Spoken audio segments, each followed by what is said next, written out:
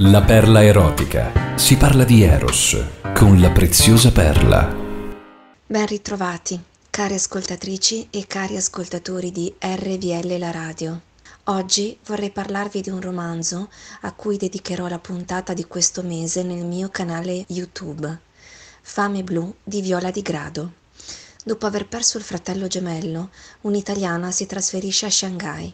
Lì incontra una ragazza enigmatica, Xu anche Xu è in fuga da un passato turbolento. Accomunate da una solitudine che assomiglia ad una fame implacabile, le due ragazze si avvicinano sempre di più l'una all'altra, divise tra il bisogno di affetto e la tentazione oscura di farsi divorare reciprocamente da Eros. Parte essenziale del loro rito amoroso è mordersi, appropriandosi l'una dell'altra.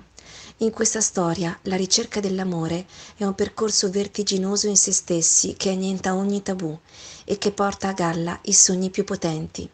Era una fame oscura, così piena di timore e di speranza da sembrare religiosa, assoluta come il primo pianto quando si è spinti fuori dall'utero, costretti a venire al mondo.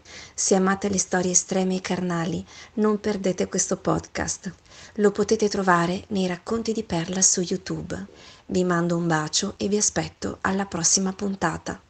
La perla erotica è anche su Instagram. Cerca la preziosa perla